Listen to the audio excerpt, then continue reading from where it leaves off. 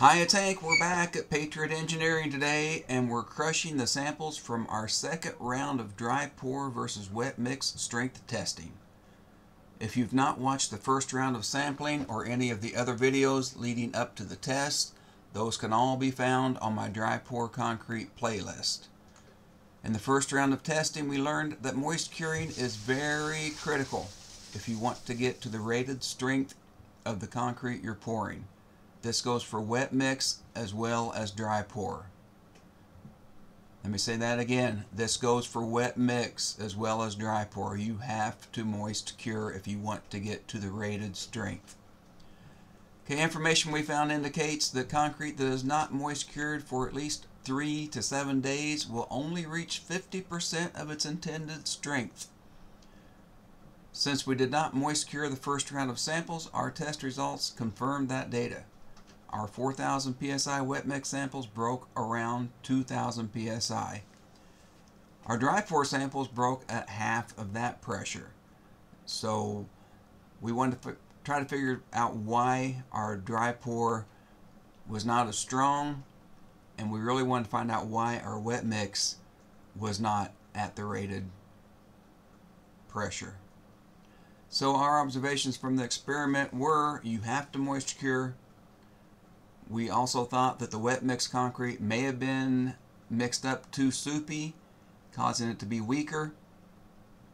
We noticed we didn't rod the samples sufficiently into the molds, so our samples were not uh, smooth and pretty on the on the outside.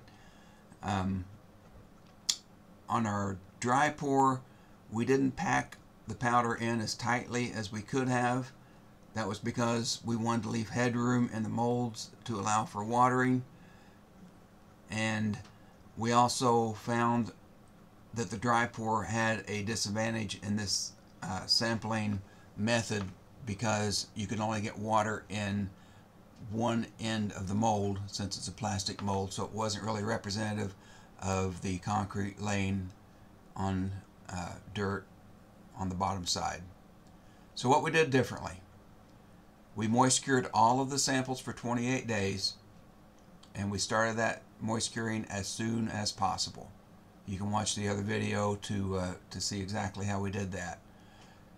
We mixed all the wet mix samples as dry as we could and uh, just in case that was an issue and then we rodded those samples thoroughly as we put them into the molds so you'll see they did come out looking a lot nicer.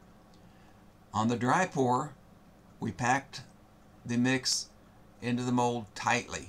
And this is to simulate, especially if you're using a vibrating screed tool that really packs the, uh, the dry pour mix into your, uh, into your framework.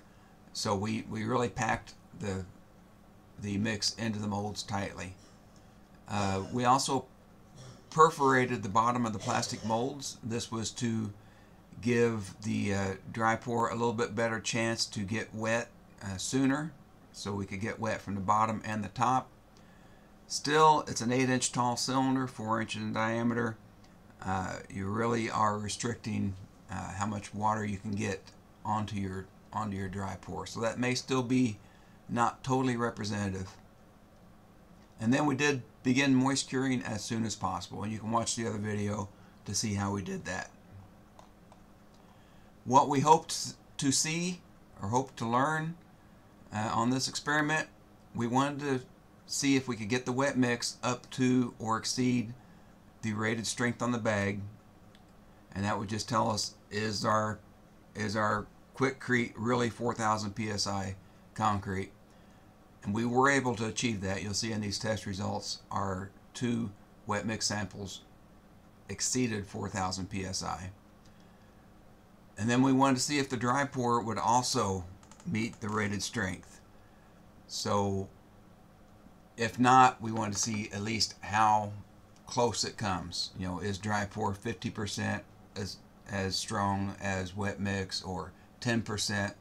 So what we did learn is, uh, like I said, we did exceed the rated strength on the wet mix. The dry pour again came in at one half of the strength of the wet mix. But in this case, instead of 1000 psi, it was 2000 psi. And I'll attribute most of that gain to the moist curing. So, what's this mean? That that's up to you. This is just information for you to digest. There are a lot of videos showing, you know, arguing is dry pour as strong as wet mix and and this and that. Uh, I have not been able to prove that it is. My both of my experiments show that uh, the dry pour comes in at half of the wet mix strength. Um, without moist curing, half of the strength is one quarter of the 4,000 psi uh, rating on the bag. With moist curing, I was able to get 2,000 psi. Does this mean dry pour is a total waste of money, waste of your time? I personally don't think so. I think there are a lot of great applications where you don't need 4,000 psi. For instance, for me, a sidewalk, a small stoop, a little pad to put a shed on, that type of thing that we've seen all over the internet. I think most of those applications are perfectly fine, especially if you moist cure and get to at least 2,000 psi. I personally would not be parking cars on this. Um, would not be doing a driveway, in my opinion. But there are a lot of applications for dry pour. If we come up with another way to prove that the dry pour slab can be stronger, we will continue to investigate this. But for now, this is this is what we've got. The dry mix. Both of my experiments show that the dry pour is half as strong as the wet mix. And if you don't moist cure, your wet mix is only half as strong as you think it is.